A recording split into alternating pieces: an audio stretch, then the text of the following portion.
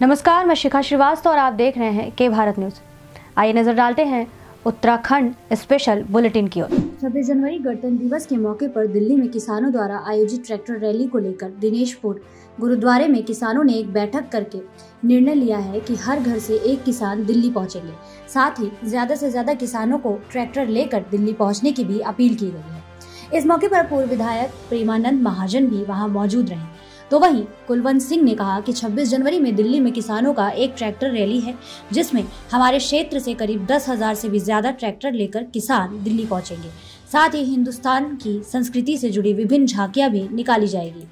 इस दौरान पूर्व विधायक प्रेमानंद महाजन ने कहा कि केंद्र सरकार द्वारा पारित किए गए काले कानून के खिलाफ लगातार शांतिपूर्ण तरीके से धरना प्रदर्शन किया जा रहा है, लेकिन केंद्र सरकार किसानों की मांग मानने को बिल्कुल तैयार नहीं है। इसलिए 26 जनवरी को किसानों का दिल्ली में ट्रैक्टर मार्च निकाला जाएगा, जिसमें क्षेत्र के अधिक से अधिक किसान ट्रैक्टर लेकर पहुँचेंगे और जिनके पास ट्रैक्टर नहीं है, वह अन्य साधनों के माध्यम से पहुँचेंगे। उन्होंने कहा कि 26 जनवरी को ट्रैक्टर रैली है, इसलिए सभी को 23 जनवरी को यहाँ से निकलना चाहिए। और कहा कि मैं किसान हूँ, इसलिए किसान आंदोलन में जितना भी प्रतिभाग कर सकूँ, वह मेरा सौभाग्य है। उधम सिंह नगर जिला एवं सत्र न्यायालय द्वारा आज पास्को एक्ट में एक आरोपी को आजीवन कारावास की सजा सुनाते हुए पचास हज़ार रूपए जुर्माना लगाया गया है। बताया जा रहा है कि रुद्रपुर के छतरपुर निवासी नरेंद्र सिंह नेगी द्वारा दिनेशपुर थाना क्षेत्र की रहने वाली एक नाबालिग बालिका के साथ दुष्कर्म किया गया था, जिसके बाद किसी को बताने पर नाबालिग को जान से मारने की धमकी भी दी गई थी। आरोप है कि नरेंद्र सिंह कई बार नाबालिग से दुष्कर्म करता रहा। इस दौरान नाबालिग गर्भवती हो गई एक दिन नाबालिग द्वारा अपनी माँ को पूरी कहानी बताई गई। तब वो पाँच माह की गर्भवती हो गई थी, जिसके बाद उसके घर में हड़कम मच गया। पीड़िता के परिजनों द्वारा 29 सितंबर 2019 को थाने में तहरीर देकर न्याय की गुहार लगाई गई थी, जिस पर तत्काल कार्रवाई करते हुए पुलिस ने आरोपी नरेंद्र सिंह नेगी को गिरफ़्तार कर लिया है और न्यायिक हिरासत में और न्यायिक हिरासत में लेकर जेल भेज दिया है। इसके बाद नाबालिग द्वारा एक बच्चे को जन्म दिया गया था, जिसके बाद पुलिस द्वारा आरोपी नरेंद्र सिंह और नवजात बच्चे को डीएनए टेस्ट कराया गया और नवजात बच्चे का डीएनए टेस्ट कराया गया था, जिसमें डीएनए रिपोर्ट में बच्चा आरोपी नरेंद्र सिंह नेगी का ही पाया गया। मामला कोर्ट में ट्रायल पर चला, जिसमें जिला शासकीय अधिवक्ता विकास गुप्ता द्वारा पूरे मामले की पैरवी करते हुए आठ गवाह पेश किए गए। जिसमें नरेंद्र सिंह नेगी को दोषी करार देते हुए आज स्पेशल पास को न्यायाधीश विजय लक्ष्मी बिहान द्वारा आजीवन कारावास की सजा सुनाने के साथ ही पचास हज़ार रूपए का जुर्माना भी लगाया गया है।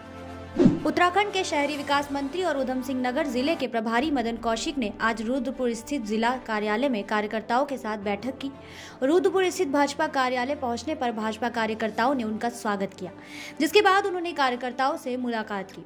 आगामी चुनाव को देखते हुए मंत्री मदन कौशिक ने कार्यकर्ताओं से और तेज़ी से लोगों के बीच काम करने की बात कही। और भाजपा की नीतियाँ जनता तक पहुँचाने की बात कही। बैठक में कई कार्यकर्ताओं ने अपनी नाराज़गी भी ज़ाहिर की।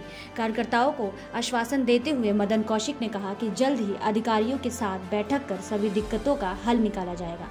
मदन कौशिक ने बताया कि आगामी चुनाव को देखते हुए सभी ज़िले के प्रभारी मंत्रियों को अपने जिलों में प्रवास के लिए कहा गया है और कार्यकर्ताओं की समस्या सुनने की बात भी कही गई थी।